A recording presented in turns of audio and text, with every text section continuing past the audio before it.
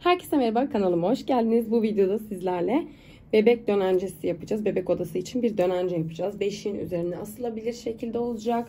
Şöyle ki ben bu çalışmada 3 mm kalınlıkta pamuk taranabilir makrame ipi kullandım. Şöyle bir parçasını numune olarak ördüm. Yine ben önden size net ölçü vermek için şöyle göstereyim.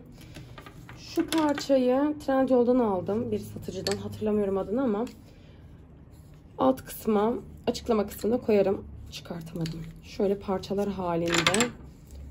Toplamda 6 parça olarak geliyor. Ve asma kısmı geliyor şu şekilde. Ahşap gayet güzel. Verniklenmiş. Şöyle pürüzsüz olduğunu görebilirsiniz. Şöyle de asma kısmı var. İsterseniz buraya şu ses çıkaran vız diye çektiğimizde ses çıkaranlar var ya diyemedim. Onlardan takıp da bir askıyla bebek beşiğine sabitleyebilirsiniz. Ya da askıyı daha uzun tutup ya da bir ip yardımıyla tavandan sarkıtabilirsiniz beşiğin üzerine. Şimdi bu çalışmada aynı zamanda farklı materyallerde kullanacağım. Şöyle valla ben elimde olanların hepsini değerlendirmek istedim. O yüzden şöyle hepsini çıkardım. Umarım güzel bir sonuç ortaya çıkar. Ben çok heyecanlıyım çünkü genelde böyle misinayla ya da normal iple yapanları gördüm. Normal ip dedim. Yine makrome ipiyle yapan arkadaşlarımız var. Ama direkt tek bir ip üzerine işte boncuk ya da işte bulut boncuk ya da çiçek boncuk, güneş boncuk gibi gibi ay gibi e, direkt ipin üzerine boncukları geçirip ucuna da bir makrome yapıp bu şekilde yapanlar var. Şöyle burgu şeklinde yapanını görmedim. Ben de bu şekilde bir tasarım yapayım dedim. Benim şöyle örgü şeyler var elimde. Boncuklarım var. İçinde boncuk var. Bunun dışı örgü. Ben bunları satın almam ama siz de örebilirsiniz. E, Simisto diye bir siteden satın almıştım sanırım. Hatırlamıyorum. Çünkü çok önce aldım yani. Yazın falan almışımdır herhalde. Yani bir 6 ay, 6 ay olmuştur yani ben bunları alalı. Şöyle renkleri var. Ben burada 6 tane kullanacağım. Şurada gördüğünüz gibi burguyla örme işlemi yapıp araya boncuğumu sıkıştırıp altına da siz isterseniz farklı çalışmalar, punch vesaire de yapıyorsanız onları da değerlendirebilirsiniz bu tarz çalışmalarda. Ben şöyle bir makrome yaptım. Makrome gökkuşağı yaptım. En alt kısma bunu sabitleyeceğim. İsterseniz bu ipi şöyle göstermemin sebebi şu kalan kısmı görmeniz. Şöyle bir iki, iki karışa yakın bir altta artma oldu. Ee, bu artma kısmını kesmedim sırf size göstermek için. Çünkü alt kısımda isterseniz püskül de yapabilirsiniz. Yani şöyle bunu şöyle göstereyim. Astığımızda buraya ben yapıştıracağım bunu. Şöyle şu kısımdan yapıştıracağım. Alt kısımda bu ipler kalmasın isterseniz kesip yine gökkuşağının arkasında yani burayı düğümleyip kesip gökkuşağının arkasından şöyle bir görselde elde edebilirsiniz. Şöyle sade. Dilerseniz altından bu ipleri bırakıp hatta birkaç tane daha ip ekleyip bu biraz zayıf kalır. İp ekleyip e, bağlama yaptığınızda püskül olarak kalacaktır. O şekilde de şöyle şık olacaktır. İsterseniz bu aralara şu ahşap boncuklardan da tercih edebilirsiniz. İlla bu örgülü olmasına gerek yok. Elinizde ne varsa. Benim şöyle boncuklarım da var. Ben çeşitleri göstereyim. Sizin de aklınızda fikri olsun. Şöyle. Sonra şunlar. Aa, gitti bir tanesi. Şunlar. Bana yazarsınız. Ben de aşağıda açıklama kısmında yazmaya çalışırım aldığım yerleri. Aynı zamanda şeylerden de alabilirsiniz. Daha geniş bulutlu boncuklar var. İşte taçlar var. Şunların daha genişleri var. Onlardan da alabilirsiniz. Ya da ay şeklinde olabilir. Benim şöyle yılbaşı döneminde satışa çıkardığımız yıldızlarımdan var. Bu şekilde. Yani burada istediğiniz gibi sizin tamamen istediğinize kalmış şekilde güzel canınız nasıl istiyorsa değerlendirebilirsiniz. Ben şöyle bir ortada ayıcı kullanacağım. Ee, kız veya erkek siz cinsiyetine göre kendiniz değiştirebilirsiniz. Orta kısımda kullanmayı düşünüyorum ben bunu. Hem biraz doluluk katsın hem de çok tatlı o yüzden. Ee, şimdi gelin beraber başlayalım. Önce ölçüleri vererek başlayacağım. Bunu zaten söylemiştim. Standart satılıyor bununla ilgili. E, linki koyacağım bulursam. Bulamasam da mutlaka koymamış olursam da açıklama kısmına. Siz bana yazın. Ben oradan size ulaşırım. Instagram'dan yazarsanız çok daha çabuk dönüş sağlıyorum. Aynı zamanda videoya başlamadan önce hemen küçük bir hatırlatma geçeyim. Şuraları bir yerlere yazarım. Instagram hesaplarımdan beni takip etmeyi unutmayın. Ve kanala abone olursanız çok sevinirim bir sonraki videolar için. Bana da motivasyon olsun. Şimdi gelin beraber başlayalım. Şu kısımları şöyle bir eledim. Şuradan başlayacağım. Şunu göstereceğim. Şimdi ben orta kısımda 45 santimlik şu alanı bıraktım. Şu 45 santim bıraktım. İki tane ip kullandım. Sadece bu örgüyü yapmak için iki tane ip kullandım. İki tane ipimi 2 metre olarak kestim. 2 metre ve 2 metre. Toplamda 4 metre bir tanesini yapmak için. Ama ben altında eğer e, püskül yapmayacağım diyorsanız e, ortalama şöyle söyleyeyim 50 santim kadar daha kısa kullanabilirsiniz. Şimdi burada nasıl başladığımı göstereceğim. İplerimi takacağız. Şöyle iplerimizi bu ahşaplarımızın üzerine takacağız. Ee, daha sonrasında örme kısımlarını yapacağız. Örme kısmında hem örgü tekniğini göstereceğim. Burgu örgü tekniğini zaten göstermiştim. Hem örgü tekniğini göstereceğim hem de şu araya boncuk alma kısmını göstereceğim. Daha sonrasında sabitleyip birleştireceğiz. Şimdi ben iplerimi kestim geldim. Bu alandaki orta kısımda kalacak kısa iplerimi ben 40 santim bırakmışım. 45 santim sanıyordum. 40 santim bırakmışım. Yine aynı şekilde 40 santim olarak iplerimizi ayıracağız. Şöyle 2 metre olarak iplerimi kestim. Şunu alalım artık. Şöyle 2 metre olarak iplerimi iki tane kestim. Şimdi 40 santim olarak ölçeceğim. Kısa kısımlar içte kalacak. Ayrı ayrı ip eklemek istemiyorum. Hem fazla ip olmasın. Şöyle şuradan tuttum. Diğerini de buna göre hemen ayarlıyorum. Şöyle eşitleyelim. Ben yandan yaptığım için umarım çok yamuk görünmüyordur.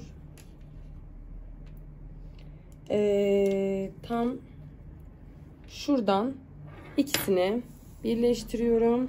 Şimdi ahşabımızı sabitleyeceğiz.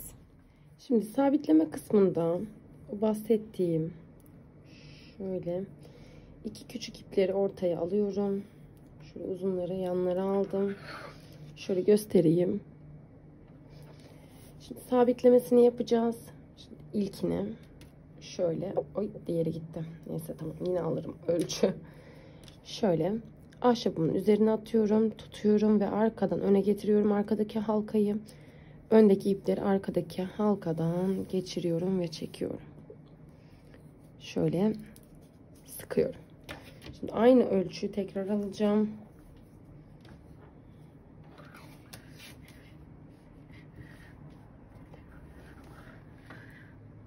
Şöyle.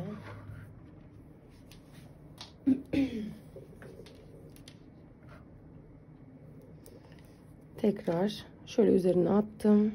Tuttum. Altından getiriyorum. içinden geçirip çekiyorum. Şöyle sıkıyorum. Eşitliğine bakalım. Biraz daha çekiyorum. Biraz daha. Tamam şimdi bu yeterli. Şimdi örme kısmına geçeceğiz. Örme kısmı için isterseniz sabitleyebilirsiniz de bu arada. Ben yapıştıracağım masaya. Daha rahat örebilmek için. Yoksa kayacak. Şöyle ortalayacağım. Daha sonra kenara alacağım. Şöyle yanlardan bir yapıştırıp sabitleyeyim. Hem de yaklaştırayım. Şimdi bu şekilde sabitledim. Kısa iplerim ortada. Sağda ve solda uzun iplerim var. Sağdaki ipimi üste alıyorum. Daha sonrasında soldaki ipimi şöyle onun üzerinde ve alttan sağ arkaya getiriyorum ve sağdaki oluşan halkadan öne doğru şöyle çekiyorum. Daha sonrasında ördüğüm ipleri şöyle yanlardan sıkarak geliyorum yukarıya. Tekrar sağdaki ipim üstte, soldaki onun üzerinde ve şöyle tutuyorum. Altından getiriyorum. Sol önden çekiyorum. Ve tekrar şöyle sıktım. Bu işlemi 10 santim olana dek tekrarlıyorum. Zaten 5'ten sonrası dönüyor. Şu an dördüncüyü yapıyorum. Şöyle görüyorsunuz. Çevirdim. Tekrar devam ediyorum. Sağdaki ipim üstte. Sürekli sağdakini alıyorum. Dönse dahi aynı şekilde devam ediyorum. 10 santim örüyorum. Sonra o aradaki örgü boncuğumu ekleyeceğim.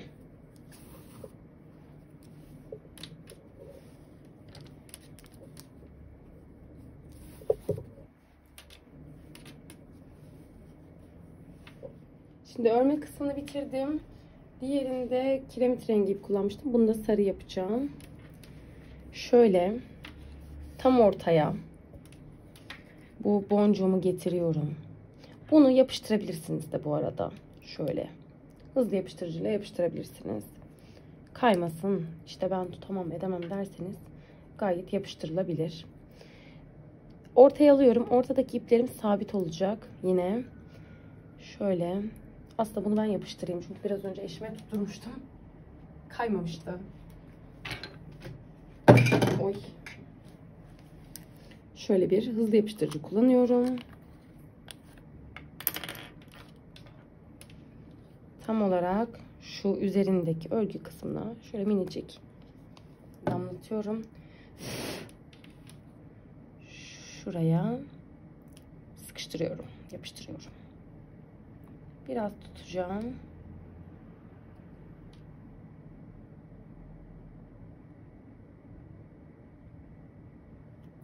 İsterseniz e, hızlı yapıştırıcının spreyini de kullanabilirsiniz burada beklememek için.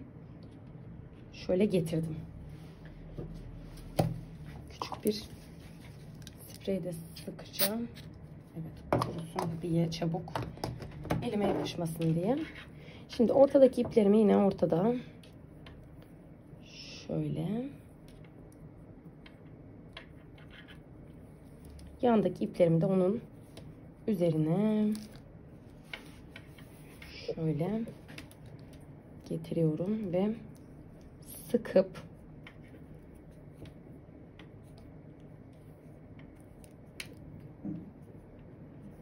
iyice sıkıştırıyorum. Tekrar tekrar bir 10 santim olana kadar aynı şekilde öreceğim.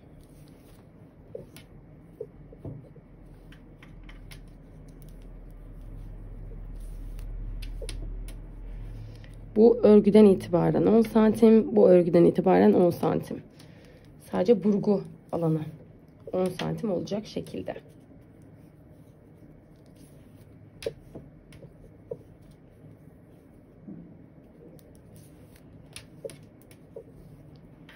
Şimdi şöyle tamamladım ve yeni kısma geçeceğiz. Ben onları hazırladım.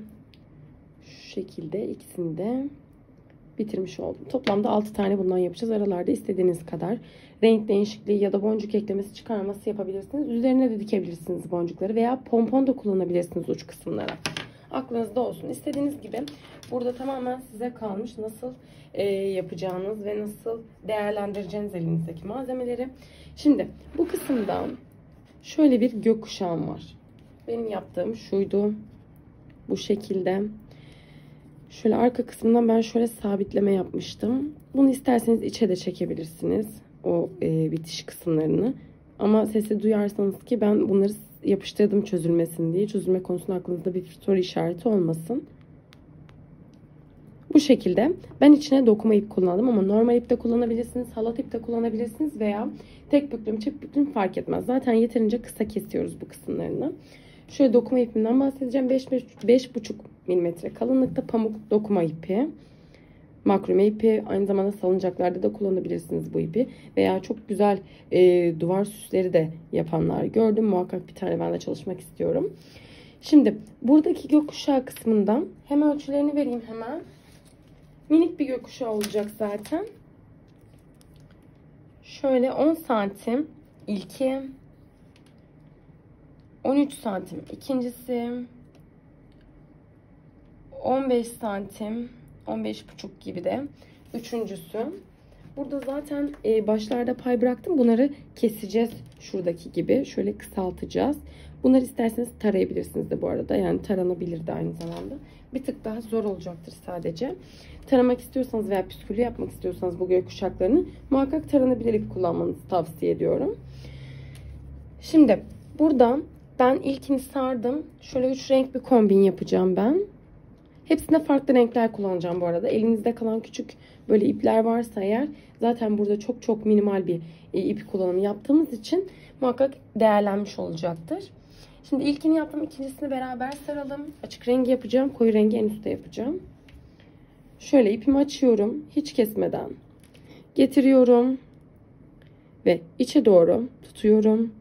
Daha sonrasında biraz yukarı çekip üzerine sarıyorum, sararak şöyle çeviriyorum ve üzerine sarıyorum. Çeviriyorum. İpler taranabilir olduğu için muhakkak çevirmek gerekiyor. Yoksa ters yöne çevirdiğimiz için iplerin büklümü açılıyor. Şöyle.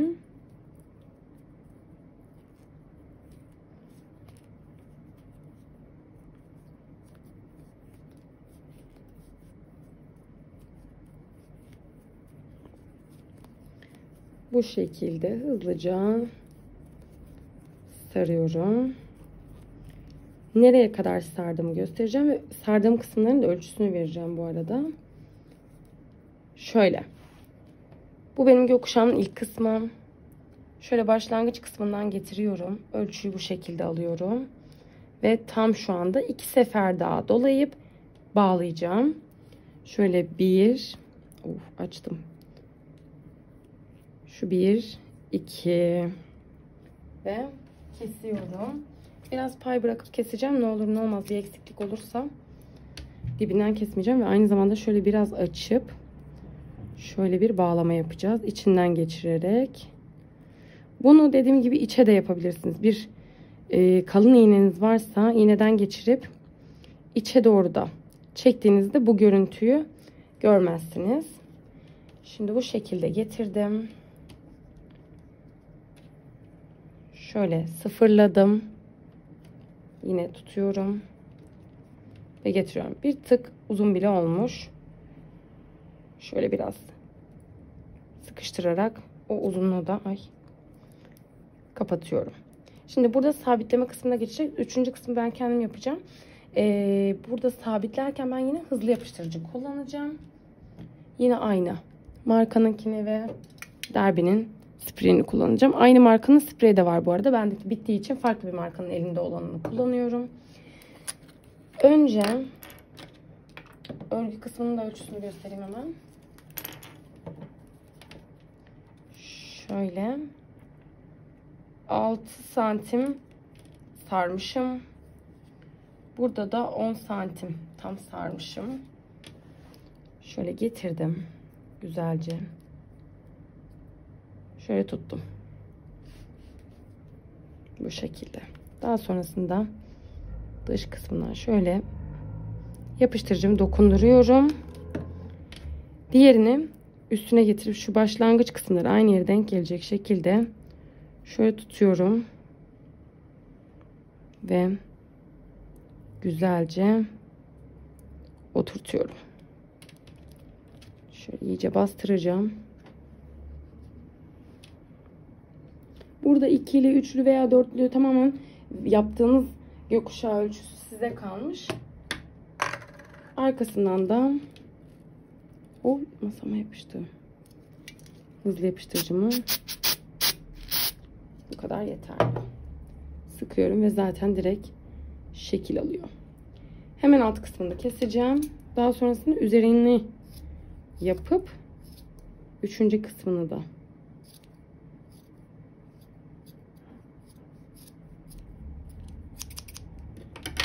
tamamlayacağım. Onu da yapıştırıyorum. Sonrasında beraber sabitleyelim. Bu şekilde çubuklarımın hepsini tamamladım. Gökkuşaklarımın hepsini tamamladım. Ve burada 5 tanesini yapıştırdım gördüğünüz gibi. Arkalarına püskül yaptım. Ben isterseniz püskülsüz de tercih edebilirsiniz. Bu şekilde direkt yapıştırarak yaptım. İsterseniz dikebilirsiniz de bu arada. Şimdi hem ölçüleri vereceğim hem nasıl yapıştırdığımı söyleyeceğim. Toplamda bu kısım örgü alanı 22 santim. Öncelikle onu söyleyeyim. Şimdi şöyle bunları bu tarafa alacağım. Burada altta kalan ipimiz vardı. İkişer metre kullanmıştık iplerimizi.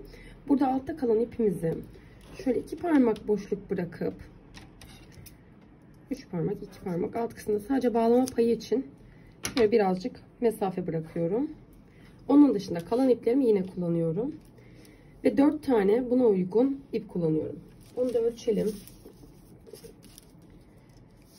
Şöyle elimdeki artık ipleri kullandım ben bu arada. Hepsi eşit değil. 30 santimlik iplerim. Şimdi beraber bu araya koyup bunu sabitleyeceğiz. Şurada gördüğünüz 4 ipim var altta kalan. Yine aynı şekilde ördüğümüz gibi şu ortaya getiriyorum 4 ipimi. Şöyle yanlardaki iplerimi de şöyle aldım. Şu şekilde eşitleyip şöyle tutuyorum. Bu şekilde uçlarını eşitliyorum. Kalanları keseceğim zaten. Şöyle bir kare düğüm yapıyorum. Aynı şekilde iyice sıktım. Soldan sağa doğru da yapıyorum ve tekrar sıkıyorum. Buradaki düğümleme kısmını iplerime eklemiş oldum. Şöyle getiriyorum ve bir tane daha uzun bir ip alıp şöyle yine hemen hemen 30 santimlik bir ip bu alanın başlangıç kısmını şöyle sıkıca tutuyorum. Aldığım ek ipi üste doğru getiriyorum uç kısmını. Altta bir halka oluşturuyorum ve sıkıca tutup şöyle etrafını dönüyorum 3 defa. Daha sonrasında şurada oluşturduğum halkam vardı. Bu halkamın içinden geçiriyorum. Ve aşağıda tekrar tutup yukarıda bıraktığım ipi çekiyorum ve bu şekilde içe gizlenmiş oluyor. Daha sonra yukarıdan çektiğim kısmı şöyle kestim. Burada altta da eşitlememi yapıyorum. Şu püskül kısmını da ölçelim beraber. Şöyle 15 santimlik bir püskül kısmı elde ediyorum. Zaten 30 santimi direkt ikiye katlayıp bağladım. Burada yapıştırma kısmına geleceğiz. Şöyle yana doğru getiriyorum ben ayarlamasını.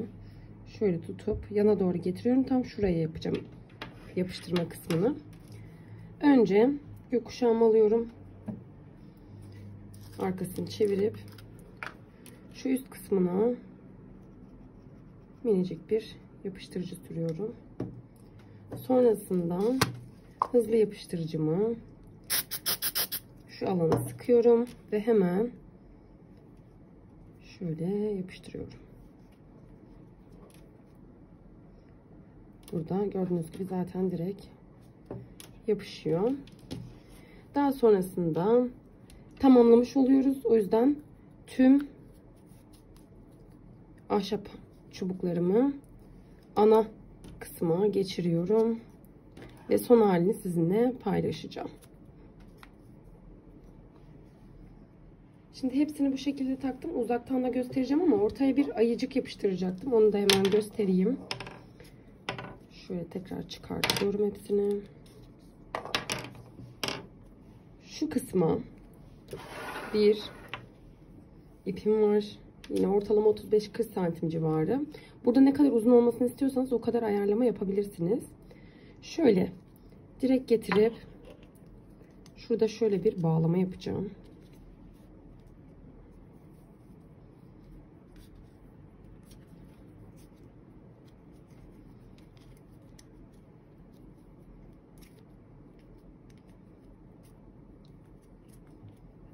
Bu şekilde. Tekrar bir düğümleme yapıyorum. Sıkı olması gerekiyor. Evet. Şuradaki kısa kalanı kesiyorum. Dilerseniz bunu yapıştırabilirsiniz de çıkmasın derseniz. Burada tamamen ben direkt yapıştırma kısmındansa sökülüp takılabilir olmasını tercih ettim. İsterseniz kullanmazsınız da. Hem çubuklarımı takacağım. En son orta kısma şöyle ayıcığımı sabitleyeceğim. Ölçeceğim için onu en son takacağım. Bu şekilde son hali. Şimdi orta kısmı yine ben ayıcığım şöyle şu sırt kısmına çok küçük yapıştırıcı sıkıyorum. Daha sonrasında bunu şu orta kısımda şöyle oy arkasına denk getirip şöyle tutuyorum. Çok küçük sıktım çünkü daha sonrasında değiştirebilirim. Şöyle baş kısmına da yapmam gerekecek. Yoksa ağırlıktan dolayı öne gidiyor. Şöyle. Bu arkasındaki ipin kalan kısmını şöyle kestim.